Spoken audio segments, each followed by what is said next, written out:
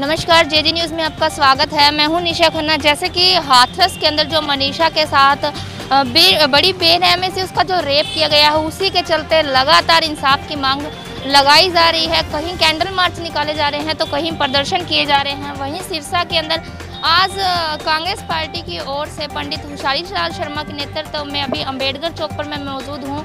आपको दिखा दूँ कि यहाँ पर मोक है जो वो रखा गया है और यहाँ पर शांतिपूर्व उनको श्रद्धांजलि देने के लाने के लिए और मन, मनीषा की इंसाफ दिलाने के लिए मांग की जा रही है और तथा साथ में यह भी कहा जा रहा है कि मनीषा हमारे समाज की हमारे पूरे भारत की बेटी थी बल्कि वो दलित समाज की बेटी नहीं बल्कि पूरे भारत की बेटी थी। इसी के चलते मनीषा के इंसाफ के लिए हर जगह मांग की जा रही है कि मनीषा के जो आरोपी हैं, उन्हें जल्द से जल्द सजा दी जाए तथा मनीषा के इंसाफ के लिए लगातार लड़ाइयाँ लड़ी